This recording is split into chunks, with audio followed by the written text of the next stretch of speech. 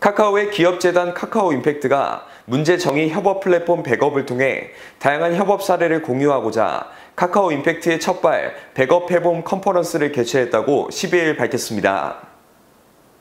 이번 컨퍼런스는 지난 10일 명동 커뮤니티 하우스에서 열린 가운데 비영리단체와 소셜벤처, 사회적 기업 등 60여 개 단체, 170여 명의 대표 및 실무자가 참석했습니다.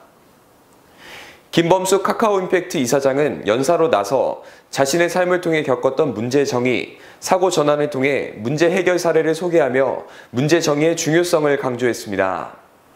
김 이사장은 문제가 가지고 있는 모순을 제대로 정의하고 이를 극복하기 위한 사고의 전환이 일어날 때 문제 해결의 가능성을 발견할 수 있다며 한 게임의 부분 유료화를 도입하고 카카오톡의 플랫폼화를 통해 수익을 창출했던 지난 과정들은 기존의 방식에서 벗어나 새로운 케이스를 만들며 문제를 해결해 나갔던 사례라고 소개했습니다.